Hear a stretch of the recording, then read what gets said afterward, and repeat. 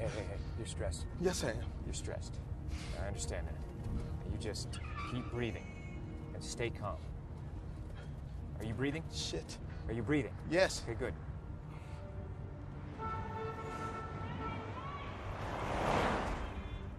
Okay, look, here's the deal. Man, you were gonna drive me around tonight and never be the wiser, but El Gordo got in front of a window, did his high dive. We're into plan B. Still breathing? Now we gotta make the best of it.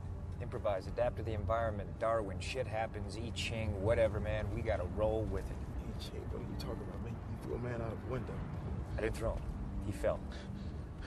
But what did he do to you? What? What did he do to you? Nothing. I only met him tonight.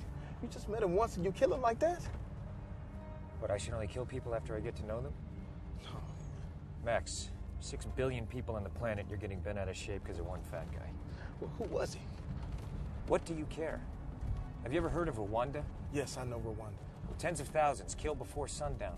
Nobody's killed people that fast since Nagasaki and Hiroshima. Did you bat an eye, Max? What? Did you join Amnesty International, Oxfam, Save the Whale, Greenpeace, or something? No. I off one fat Angelino and you throw a hissy fit. Man, I don't know any Rwandans. You don't know the guy that trunk either. Okay, if it makes you feel any better, he was a criminal. Involved in a continuing criminal enterprise. What are you doing? You you just taking out the garbage? Yeah, something like that.